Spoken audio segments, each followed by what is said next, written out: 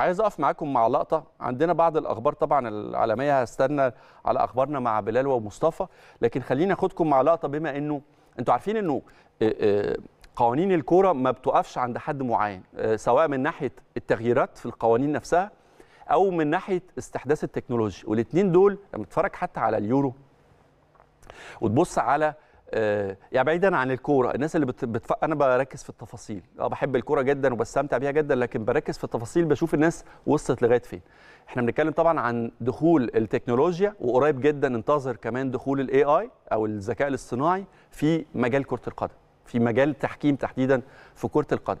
لكن بص وشوف على آه، رشاقة ومرونة وأداء الحكام. بص وشوف لقطات الفار اللي ممكن تاخد عندنا في ملاعبنا أربع خمس دقائق وتأثر قد إيه على الماتش بتاخد قد إيه عندهم. أنا عايزكم تشوفوا الكرة دي.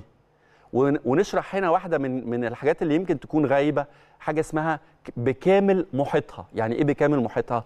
يعني الكرة كلها لازم بص ممكن نوقف الكادر هنا. لو أنا شايف الكرة من الزاوية دي وحضراتكم بتتفرجوا عليها في الماتش في البيت من الزاوية دي هتقول الجون الكرة دي أكيد جون بنسبة 101% مش 100% الكرة عدت الكرة جون. لكن تعالوا نشوف بقى التكنولوجيا عملت إيه ووضحت يعني إيه بكامل محيطها.